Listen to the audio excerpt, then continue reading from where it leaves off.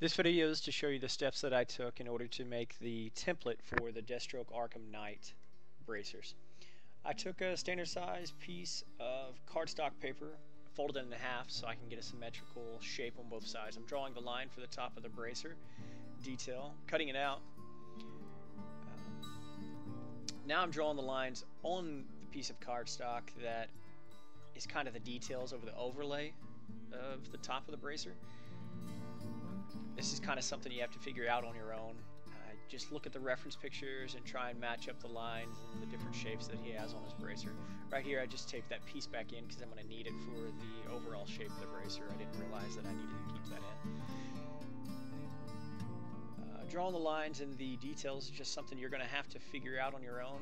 I can't really tell you how to do it. You just got to be creative and try and match up the lines that are there. Uh, ultimately, it just based upon what you think looks good and how close you want to be to the reference picture you're working off of.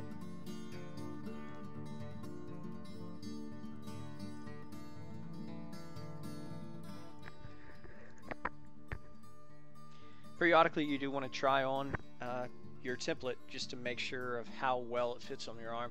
As you can see I'm cutting off a little excess that I didn't need on my bracer to get the proper shape.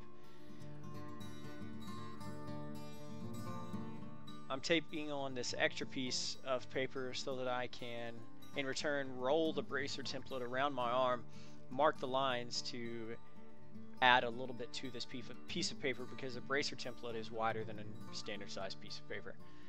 I cut that piece off. Uh, now I'm going to tape it together and slide on the template just to kind of get an idea of how it's going to fit on my arm whenever I transfer it to foam. Uh, keep in mind that the paper template is just the top surface of the foam.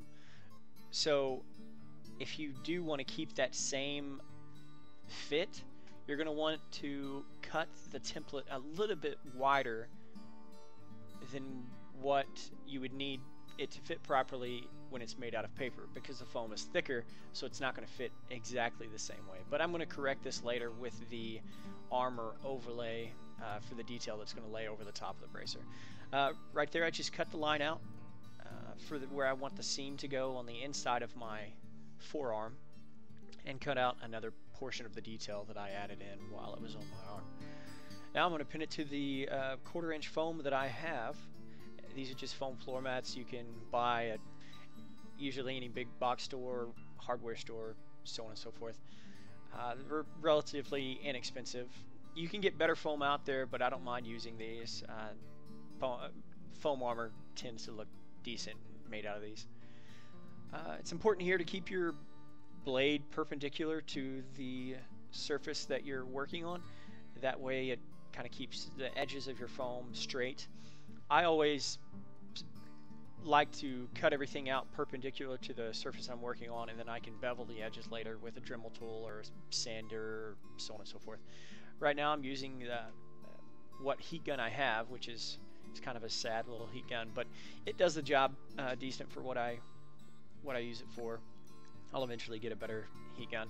Now I'm going to, uh, of course, cut out the second bracer and heat it up, uh, and then try and mold it into the proper position. What you want to do is you want to heat it up, and then you want to fold it a little bit past what you're trying, uh, the shape you're trying to achieve, and then hold it. And once it cools down, it will spring back a little bit, will, but it'll stay pretty close to the form you're looking for.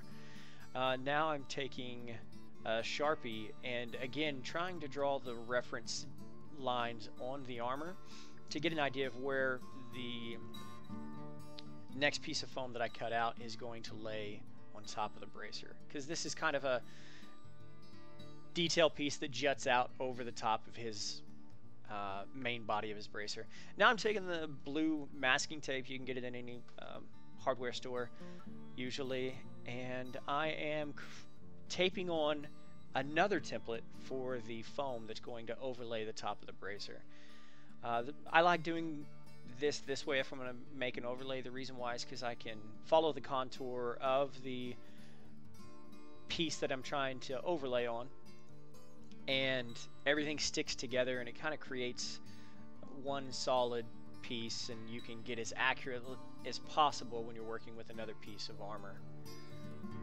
Um, again, this is something per personal preference depending on how close you want to be to the reference picture you're working off of.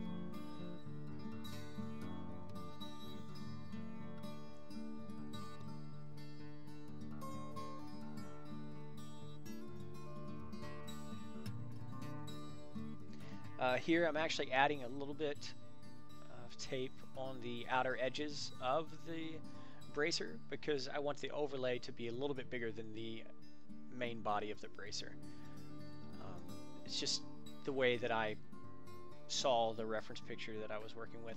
Now I'm just trying to refine the shape of the detail adding a little more tape here, cutting a little bit of the tape away. You do want to be very careful when you're using your razor blade over the top of this tape to cut it off of the surface you're working on because you don't want to, you know, damage the foam you're going to be trying to finish and paint later because the more imperfections you put on there now is just going to magnify when you put paint on. But ultimately we're all going to weather our costumes anyway, so it's just kind of up to you.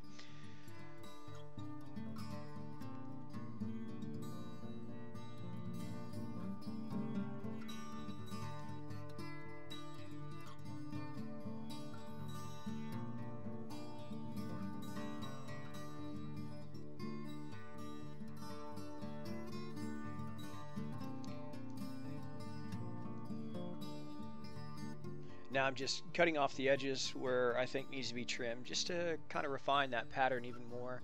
And now the gap between these two points on the template at the top of the bracer, I'm taping that together and I'm going to recut it out later. This way I can keep the template to the proper shape when I take it off the bracer and transfer it to the cardstock paper. This way I keep the distances and everything correct. I can always cut that piece out later and get back to the same shape that I wanted originally. Got to add another piece of cardstock paper so that I can uh, transfer the entire template to one piece. The tape, of course, hard, holds the two parts together, and the couple pieces on the top and bottom that I needed some extra, I just found some scrap pieces and taped those on there. Now I'm drawing out the template, and then I'll cut it out, and I'll have uh, an entire piece. I'm not going to take the tape off. There's no reason to. It's just can stay on there, and uh, then this template will be complete. In the next video, I'll show you how I transfer this template to uh, 5 millimeter uh, craft foam that I bought at Hobby Lobby. Uh, it's just a thinner piece of foam that I tend to use for uh, detail pieces on armor. On the inside pieces of these templates, I like to use a razor blade to cut them out just to keep the lines and corners as straight and meticulous as possible. Now I'm just uh, trying to push down the tape even more and kind of getting an idea of how it's going to fit on the bracer now that I have the template complete and you'll see me cut out the top piece uh, that I put in earlier and what I'll do is actually um, draw the perimeter lines draw a line down the center of the middle where I want it to be, and then I'll cut one side, fold it over, and match it up so that it's symmetrical on both sides. Thanks for watching.